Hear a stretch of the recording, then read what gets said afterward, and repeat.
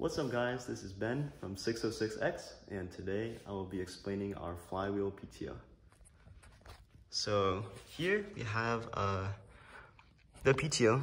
It's a horizontally mounted PTO um, where it translates horizontal motion into vertical motion to shift this gear up and down. Uh, so normally if you wanted to do a PTO, you'd have the cylinder like this where the piston goes up and down like that. The cylinder body is here. Um, but obviously, if we did that, we'd be out of size. So that wasn't an option. So we had to design something that was in size and that still moved the gear um, up and down.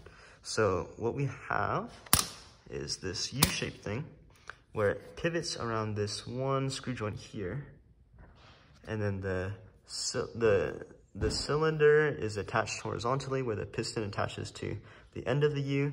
And then the this other end of the U um, is moving the gear.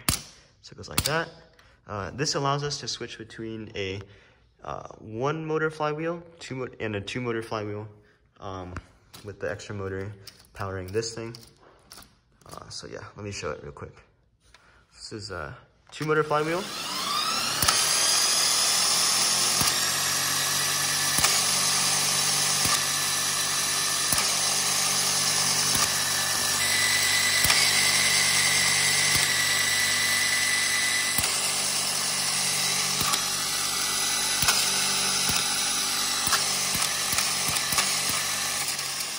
So yeah, that's pretty cool.